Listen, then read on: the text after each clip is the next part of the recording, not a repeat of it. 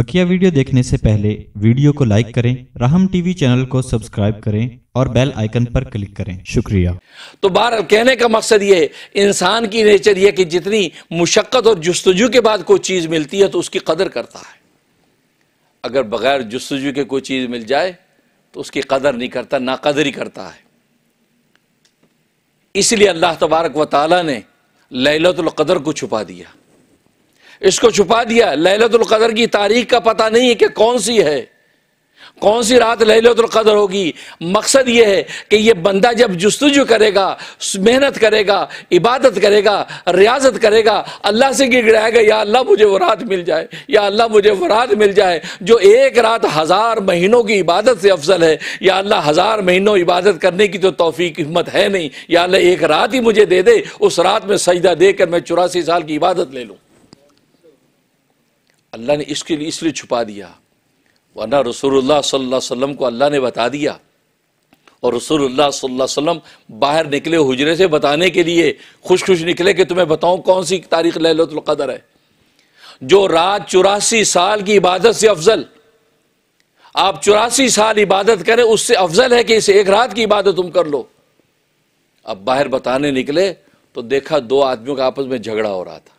वो आपस में तनाज़ा हो रहा था। वो झगड़े की तू तकार के अंदर अल्लाह तबारक व ताल ने तारीख को बुला दिया।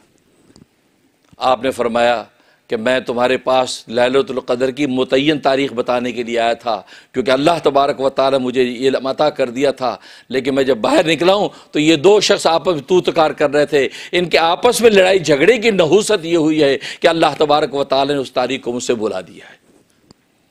और साथ ही फरमाया, हो सकता है कि तुम्हारे लिए खैर हो। हो सकता है तुम्हारे लिए खैर हो। तारीख का बुला देना ही खैर हो। इसलिए तुम बस ये है कि वो ताक रातों में से कोई रात है। नवीं रात में तलाश करो, या सत्ताईसवीं सातवीं रात में तलाश करो, या पांचवीं रात में तलाश करो। मतलब क्या है कि अगर आखिरी अशरे को शुरू से शुमार करते हैं तो फिर ये ये रातें बनती हैं। ये 21 की रात बन गई उनतीस की रात बन गई 25 की रात बन गई 27 की रात बन गई। अगर पीछे से शुमार करते हैं तो 21 की रात बनती है 23 की रात बनती है 25 की रात बनती है। गोया कि ये रातें मुतन कर दी कि ताक रात के अंदर तुम तलाश कर लो। या तो 21 की रात में होगी, या 23 की रात में होगी, या 25 की रात में होगी, या 27 की रात में होगी, या उनतीस की रात में होगी। अब ये नौ रातें बतला दी तो नौ रातों का मतलब ये कि अब ये बंदा नौ रातों में तलाश करेगा। नौ रातों में तलाश करेगा। मैंने जैसे बताया कि कोई भी कीमती चीज़ एक जस्तजू के बाद जब अल्लाह तबारक व ताली अता करते हैं तो उसकी कदर होती है। अब ये बंदे को मुतन पता नहीं है कि कौन सी तारीख। अब ये जस्तजू कर रहा है। रोज़ सजदों में गिर रहा है। साल साल ज़िंदगी के गुजर जाते हैं लहलत कदर को ढूंढ रहा है। भाई, ये जस्तजू अल्लाह तबारक वाली को बंदे की अच्छी लगती है कि यार ये बंदा देखो जस्तजू कर रहा है। और ये एक रात क्या, इस जस्तजू और तड़प की वजह से पता नहीं कितनी रातों का जो रसवाब ले जाता है। तो देखो, भुला देने में खैर हुई, लेकिन छुपाने में यह मकसद है कि ताकि आप जस्तजू करेंगे, अब उसको जब तलाश करेंगे तो उसकी कदर आएगी, तभी तो लहलतुल कदर है।